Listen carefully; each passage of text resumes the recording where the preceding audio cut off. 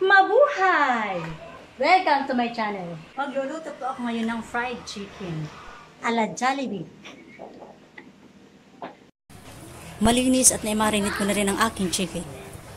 Sa kalamansi, paminta, at asin. Magiinit muna ako ng mantika. At habang hinihintay ko na uminit ang aking mantika, bubuksan at isasalin ko naman itong aking breading mix sa isang lagayan na medyo malaki para dito ko na rin ilalagay ang aking minarinate na manok.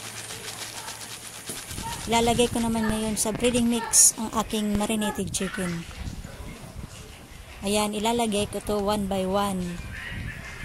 Kasi baka hindi magkaasya sa aking pinaglagyan ng breading mix. Sa tingin ko, medyo marami-rami ang may lalagay ko ditong chicken. Dahil medyo malaki-laki na ito na paglagyan kong breading mix. Kaya sige, maglalagay pa rin ako na maglalagay hanggat sa tingin kong kaya ko pa siyang maialog mamaya maya tama na muna at tatakpan ko ito.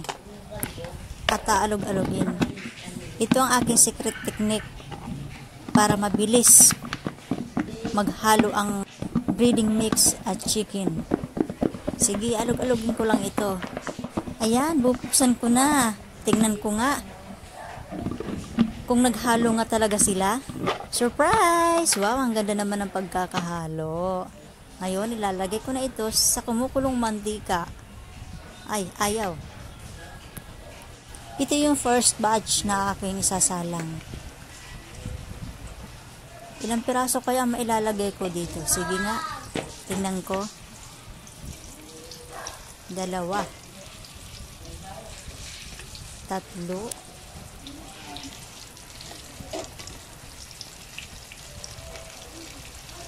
Apat, lima. Ayan, limang piraso pong aking naisalin. Kaya, itatabi ko na muna ang ibang chicken para mamaya sa second batch. Aayusin ko nga ang mga nailagay kong chicken. Sa tingin ko kasi kaya pa akong maglagay ng isa eh. O, ayan o. Oh. Kaya pa nga ng isa.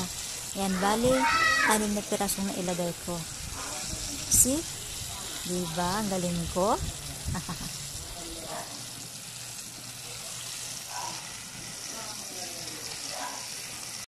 Ayan, golden brown ang aking fried chicken. Pero sa tingin ko, kulang pa ito sa brown. Gusto ko kasi yung medyo dark brown. Sige, titingnan ko ito lahat. Tingnan ko itong hita. Ako, medyo maputlap ang color. Kaya babalik ko. Sige, kunti pa. Halos lahat sila eh. Medyo maputla pa. Kunti pa, kunti pa. Dapat mahina lang ang apoy ko para hindi masunog. Yan. Medyo nagbabrown na talaga sila. Ganito ang gusto kong kulay sa chicken kaya hanguin ko na ito. At ilalagay sa strainer para humiwalay ang mantika sa fried chicken. Bago ko pahanguin ang aking fried chicken, meron akong nakahandang strainer at mangkok. Ang mangkok po, yun po ang pangsahod ko sa mantika na hihiwalay sa fried chicken at hindi kakalat sa sahig. Ayan, natapos ko na rin hanguin ang aking first batch. Aalog-alogin ko muna ang chicken bago ko siya isalang. Para sa second batch.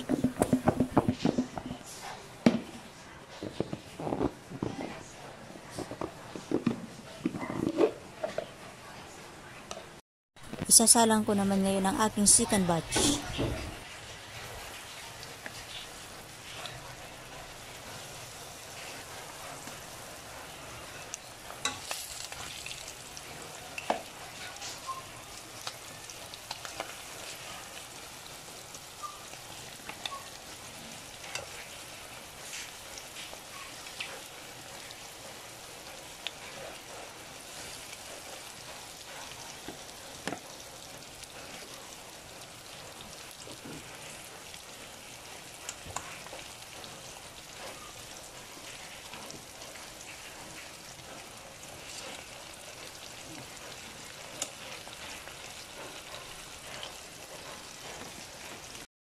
Natapos ko na rin prituhin ang aking second batch. Ayan, tapos ko nang maisalin.